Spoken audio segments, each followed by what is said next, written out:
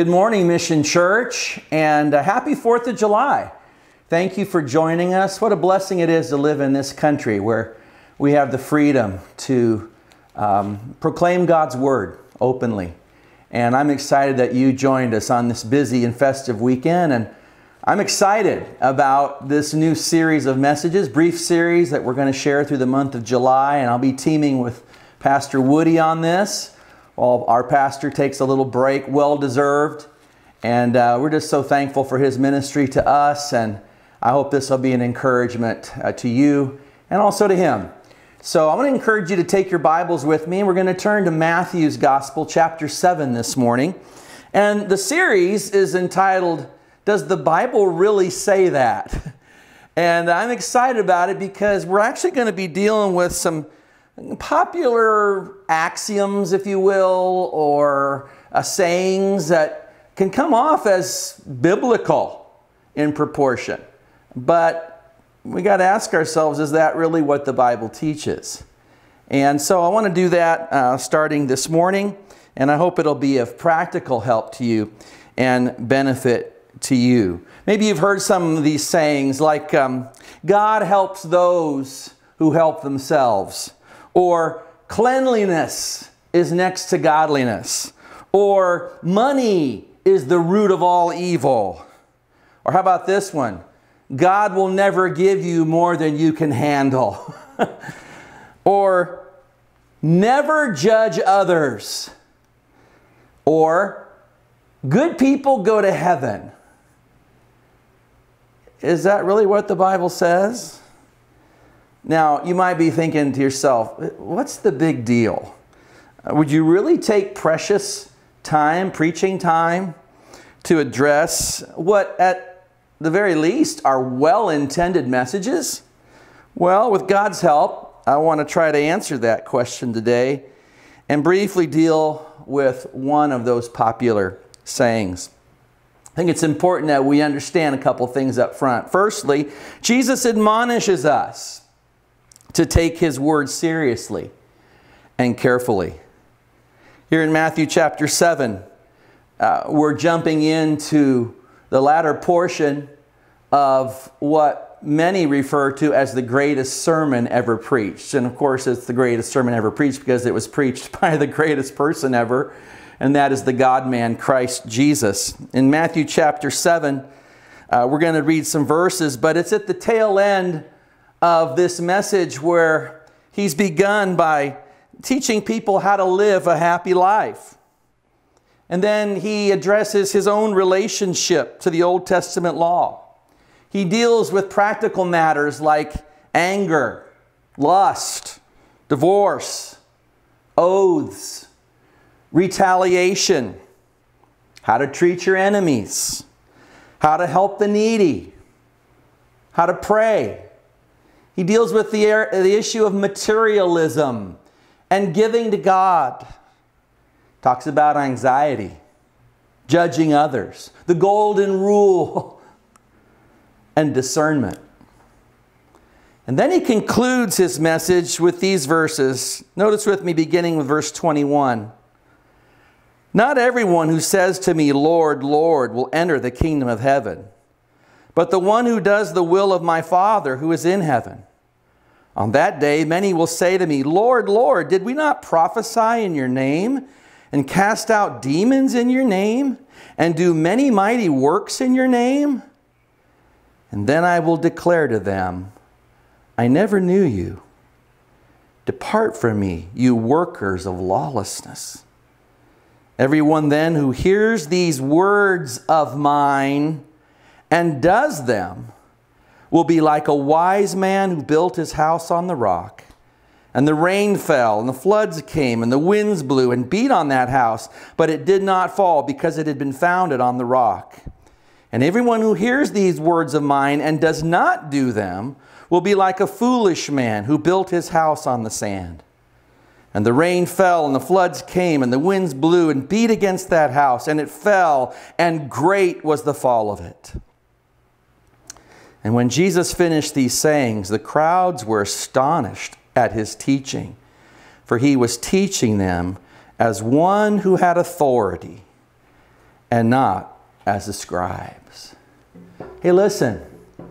Scripture teaches us that Jesus himself is the living word. He is the Logos. He is 100% God, and what he says is the very word of God. He also quoted the scriptures that were already written and available to men when he walked this earth, and he was careful with the scriptures. In doing that, he modeled reverence and respect. The same reverence and respect that we should have for God's written word. We call it the Bible. You've probably heard this week the reports of a tragic event near Miami, Florida, the collapse of the 12 story Chamberlain Tower, the South Condominium.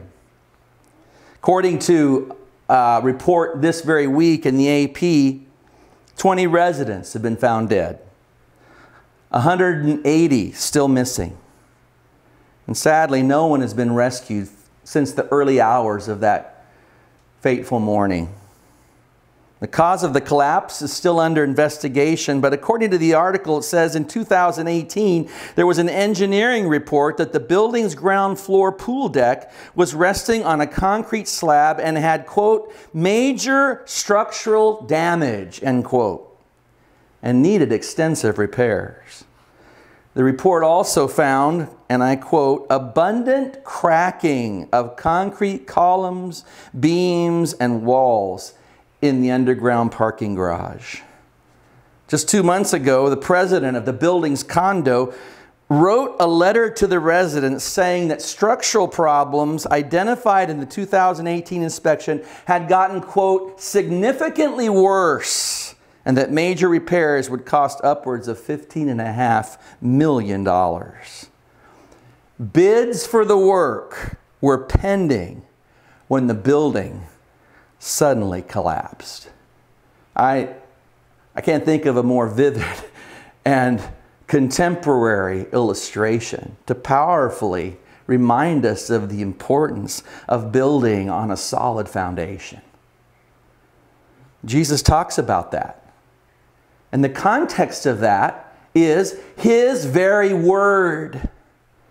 Some of us that grew up in church can remember singing that song that kind of became a cute little story about building our house on the rock or building our house on the sand and building our life on the Lord Jesus Christ. And that's, that's a great song for us to teach and to learn and to sing. But I think perhaps it's kind of put within us the attitude that this is a cute little quip or story.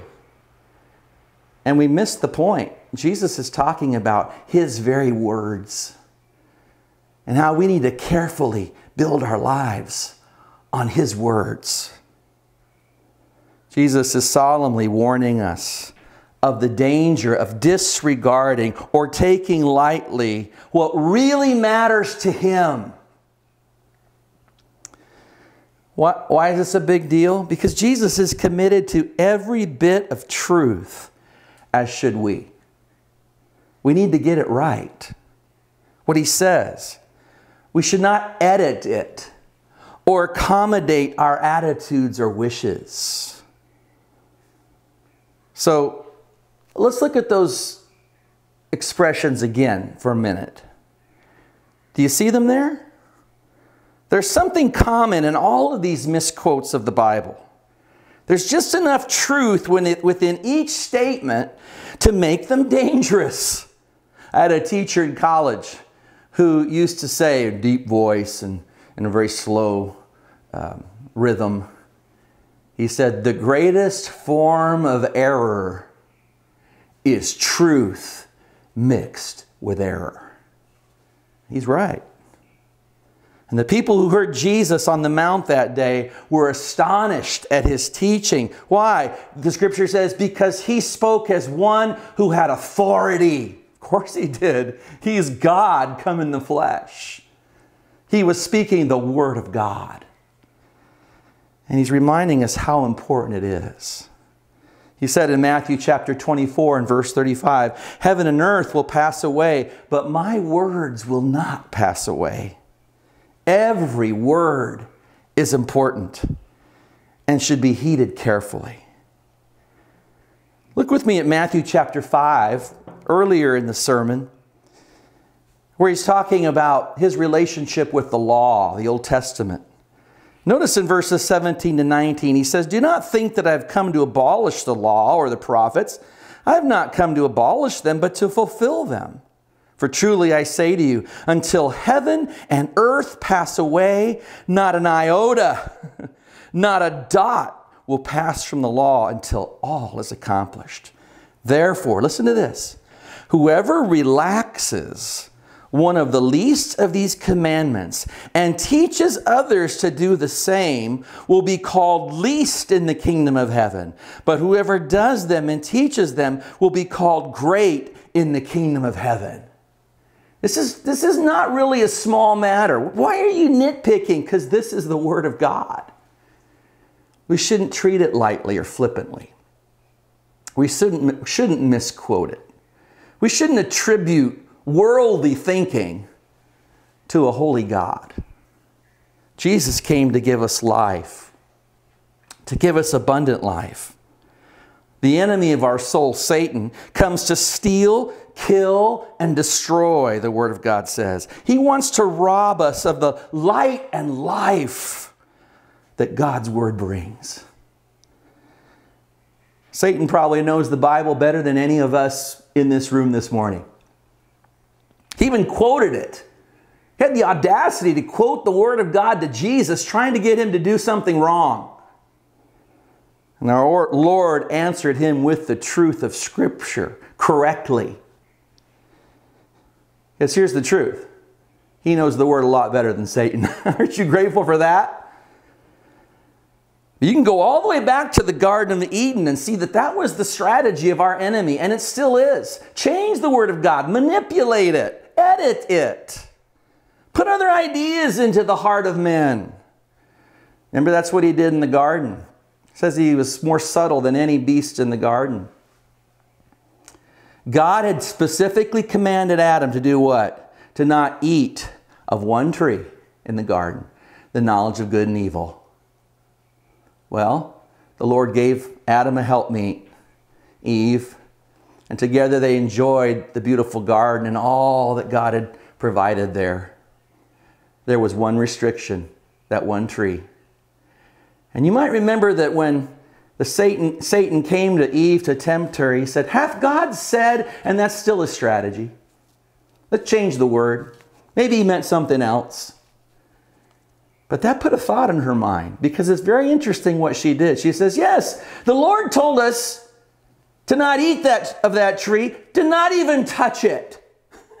now, let's give her a little bit of leeway. Perhaps Adam said, probably a good idea not to touch it, but God never said that, that we know of. And you know, that's what Satan does. He gets us to, to say other things that are not in the scriptures to get us away from God's will, to think differently about God than as revealed in His Word.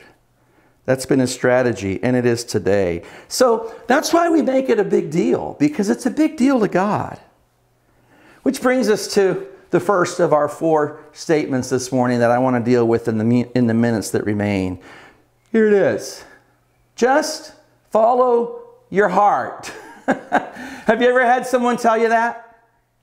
Hey, have you ever said that to someone else? Follow your heart. It's popular in the movies, novels, slogans, blogs, memes. Oftentimes it means uh, trust yourself, follow your instincts. Maybe you've put it, heard, heard it put this way your heart will never lead you astray. Is that true? The problem is that none of these quips are from the Bible, nor are they supported by the Bible. It starts innocently enough, even at a young age. Have you ever watched a Disney animation? Many of those encourage our children to follow their hearts against their parents, against what everyone else is saying. Just follow your heart. It goes way back to the 40s. Jiminy Cricket, let your conscience be your guide. Listen, That's Jiminy Cricket, not Jesus Christ, the Prince of Peace. Rather than falling to the temptation to shape God into our image with popular axioms, we need the Word, the true Word of God. Psalm 37 4 says, Delight yourself in the Lord, and He will give you the desires of your heart. Notice the order there. Delight in the Lord. So, what's the big idea this morning? Here it is. Make it your focus to delight in God. Let His Word shape your heart and go with Him. So, how do we let God's Word shape our heart? Number one, let God's Word, let the Bible define your heart. And when someone says, Hey, Bill, man, just, just follow your heart, Bill. Hey, Susan, girlfriend, you, you got to follow your heart on this one. What are they talking about? We need to define the heart. And that's the first important challenge of this mantra that is so prevalent in our culture. Uh, someone shared, I don't watch the show myself, but someone told me that there's a very popular show, Bachelor, and that that's a prevalent mantra on the show Bachelor. Well, okay, go figure, right? Um, like Forrest Gump said, that's all I'm going to say about that. Uh, um, in our culture, Heart is emotion, feeling, instinct, passion, desire. And if we don't get a better and more complete definition of this important term, we'll find ourselves in a lot of trouble if we follow our heart. Uh, there's a story that's told of two experienced bear hunters and a friend who wanted to learn how to, to, to bear hunt. At the end of the first day, one of the experienced bear hunters brought back a large grizzly bear. The experienced bear hunter asked how the bear was bagged, and the successful hunter exclaimed, I followed the tracks, I went into the cave, and I shot the deer. The next day, the three hunters went after some more bears. At the end of the day, the second experienced hunter dragged back a black bear into the camp. And when asked how he had shot the black bear, he, he expressed, I followed the tracks, into the cave, and then I shot the bear. Well, the third day, the three hunters went out and returned, and at the end of the day, neither of the experienced hunters had gotten a bear. And when the inexperienced bear hunter returned to the camp, he had no bear, but he was all cut up and bloody. The two other hunters said, Hey, what happened? To which the inexperienced hunter explained, I too followed the tracks. I went into the cave and I got hit by a train. okay, here's the problem no one had ever defined the tracks. And I'm afraid we throw out these expressions like follow your heart, but we don't have a clear definition of what that is. So, where do we get it? We get it in the Bible. Thank God the Bible doesn't work that way. Okay? God doesn't leave us to define it, He gives it for us in His Word. He never told us to follow our heart, but He has defined the heart in His Word. And we need to let God's Word define our hearts. The Bible mentions the word heart about a thousand times. And for thousands of years in Jewish history, God's people have expressed their devotion to God with these familiar words. We call it the Shema from Deuteronomy 6, verses 4 and 5. Hear, O Israel, the Lord our God is one. You shall love the Lord your God with all your heart and with all your soul, with all your might. This is again repeated in Matthew's gospel when Jesus is asked, What is the greatest commandment in the law? You need to understand something. The Old Testament word translated heart, sometimes pr- pronounced labab, more often than not, it's shortened to a three letter word, lab or leb. Different cultures throughout the centuries have had different ideas about the, how the human body works. Uh, this is certainly true with the, the Israelite ancient Hebrew writers of the Bible. I think they knew that there was a vital organ in the chest that sustained a person's life. I think a good example of that in the Old Testament is the character of Nabal, the man who mistreated David's servants in 1 Samuel 25. He, I think, was stricken with a heart attack. The scripture says that his heart died within him and he became as a stone. And we know in that particular case, he didn't die for 10 more days, and God delivered him with a, a stroke. So I think the people were aware of this vital organ at the center of a man's being, which sustained his life, and thus the word heart became the center of man. There was no word at that point for brain. They spoke of the heart in many ways that mean that seem kind of strange to us as readers because they had very little concept of the brain and its function. The Old Testament word, heart and mind, interact. They're used together. Proverbs 23 7 says, For as a man thinks in his heart, so is he. The heart is where you understand. Proverbs 14 33 says, Wisdom rests in the heart of a man of understanding. The heart is where you discern truth from error. That's what Solomon asked for. You remember, God came to him and said, You can have anything you ask, just ask me. And he asked in 1 Kings 3 and verse 9, Give your servant, therefore, an understanding mind to govern your people, that I may discern between good and evil, for who is able to govern this your great people? So in the Old Testament times, the heart is where you think and make sense of the world. It's where you feel emotions. You can feel pain in your heart when going through something emotional. Think of Hannah. Do you remember? She so desired to have a, a baby and she was infertile and her husband was trying to minister to her there in the temple and she was being mocked by her husband's other wife and and in a very awkward moment 1 samuel chapter 1 and verse 8 he asks his wife why do you weep and why do you not eat and why is your heart sad now that's where he should have stopped okay he was sensitive to that point but then he had to keep talking and he said am i not more to you than 10 sons? nice try, big boy, right? kind of blew it there. But he had it right. Her heart was sad. Uh, it's from the ancient Hebrews writers that we get the term broken heart. You can experience fear in your heart, it can melt. It can feel distressed or even depressed. On the other side, it's the center of joy. The word heart literally mean or happy in the Hebrew has the idea of a good heart. So the heart is a generator of physical life. It's the center of intellectual and emotional life, but it's also the seat of volitional life where we make choices. We're motivated by our desires, the desires of the heart. It's that which pushes you to do something.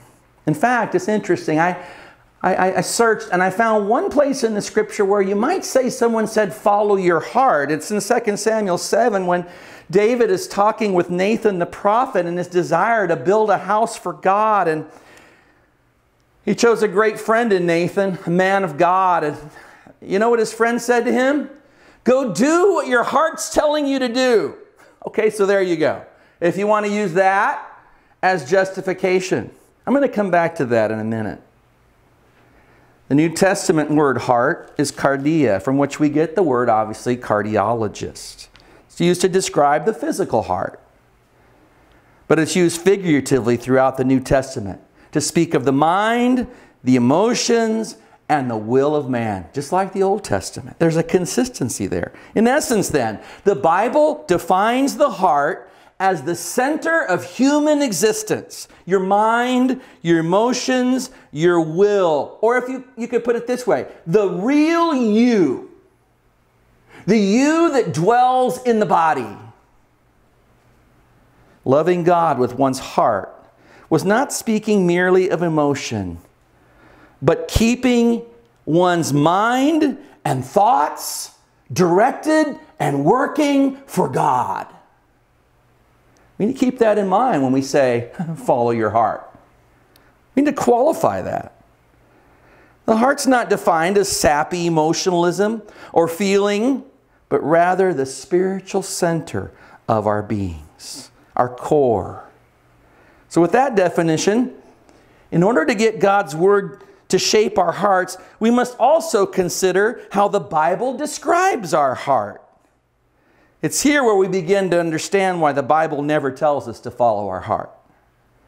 How is this core of, of us as men and women, boys and girls. How's that described in the scripture? And I think with this description, we're going to find out it doesn't support the idea of one following his heart. The prophet Jeremiah, speaking God's word, describes the heart as fundamentally broken. He said in chapter 17 and verse 9, The heart is deceitful above all things and desperately wicked. Who can know it? A prophet had watched a whole generation turn away from God to the point that they were even sacrificing their children as if it were a good thing. Sounds familiar. This is why, in the imagination of the Hebrew prophets, the only hope for humanity was the total renewal of the heart. Moses predicted that if Israel would ever love their God with all their heart, they would need their hearts circumcised. Wow, that's radical language. Deuteronomy chapter 30. Very vivid. But it speaks of removing evil and stubbornness from our hearts. Rebellion. Ezekiel, the prophet, hoped for a day when God would remove this heart of stone and give his people a new heart of soft flesh. Very similar to Jeremiah's hope that God would write the commandments of the Torah on the hearts of God's people. Friends, this, this possibility of a new heart was provided in Jesus through new birth. Jesus tells us in John 3 and verse 3 we must be born again. We need a new heart. We must be born spiritually. It's here where he gives us this new heart. I love these, this verse. Romans 10, verses 9 and 10 tell us that if we come in our sinfulness and, quote, confess with our mouth the Lord Jesus and believe in our hearts that God has raised him from the dead, we will be saved. For with the heart, man believes to righteousness, and with the mouth, confession is made to salvation. When we repent of our sinfulness, our stubbornness, our waywardness, and we trust Jesus as our only Savior, in Him we become a new creature, the Bible says the power of the Holy Spirit who gives us new life changes our hearts from being sin focused to being God focused. Now, instead of our way, it's His way. Romans 12, verses 10 and 11 say, For the death he died, he died to sin once for all. But the life he lives, he lives to God. So you also must consider yourselves dead to sin and alive to God through Jesus Christ. This new life in Christ, rising us from the dead, now giving us the power to make right choices, choices that please Him, doing His will, following His commands for His glory. Friend, have you come just as you are with your heart just as it is? Rebellious, wayward, hard, and if you acknowledge your need for a new heart, a clean heart, a soft heart? Believe with your heart today. Believe with your whole being the gospel that Christ died for your sins, that he was buried, that he rose again the third day to give you life. Trust him today. This brings me to the last thought about God's word shaping our hearts. Very quickly, notice this third thing let God's word direct your heart. Don't follow your heart. Trust in the Lord. with all your heart. What does that look like? Well, Proverbs 3 5 and 6. Trust in the Lord with all your heart. Do not lean on your own understanding. How much of that goes into follow your heart? In all your ways, acknowledge Him, and He will make straight your paths. Can I just simplify it in two points from the scripture? Don't trust yourself, not even your heart. As you're considering your direction in this matter, what are you going to do? Follow your heart is most often used when you're, you know, trying to find out, figure out what, where you're going to go, what you're going to do, who you're going to marry, what job you're going to get, where you're going to live, how are you going to deal in a relationship. Someone says, follow your heart. Careful. You may have good intentions, but God always has the best intentions. Let me go back to that story of David. I want to build a house for God. He was sitting in his beautiful palace, lined with cedar, paneled with cedar. And he said, I sit in this beautiful house, and, and God dwells in a tent. What a shame. I want to build him a house. So he tells his good friend, man of God, even. He has great intentions, and initially his friend says, Hey, if that's in your heart, Dave, do it. Well, here's the rest of the story. Nathan goes back to his house. And that very night, God comes to Nathan the prophet and says, Ah, you need to go back to the king and you need to tell him, No, it's not going to be you building the house. I've got other plans. that was the word in a nutshell. Aren't you grateful David had the right kind of friend?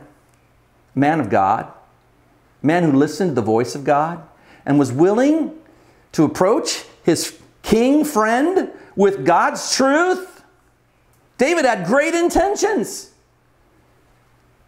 But he told David, Can't do this. God has spoken. Listen, I, I want to encourage you choose the right friends.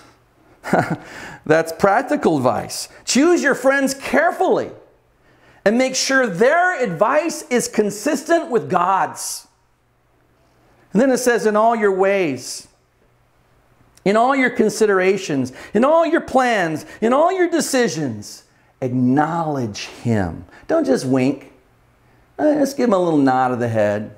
I gave you some time, Jesus. No, no, no. Seek it out. You know, sometimes we follow the heart and we, we make decisions too quickly. Maybe we just need to learn to wait. Find out what God says on the matter. Choose your counselors carefully. Make sure their advice is consistent and be willing to wait. Honor God. Seek Him first. Love Him first. And the scripture says, He will direct your paths. He'll always lead you into the right situation, and He will be glorified. Father, thank you for your word. Thank you for its wisdom. Lord, we want you to define the heart. We want you, we want to accept your description of the heart. And then, Lord, we need our hearts directed. We need your direction. Help us to be wise and understanding what the will, your will, the will of the Lord is. And then, Lord, help us to your glory to do it. Forgive us where we've made choices in the flesh to follow our hearts in opposition to your clear word. Give us courage to do what is right. And we'll thank you for the blessings that come. For we ask it in Jesus' name. Amen.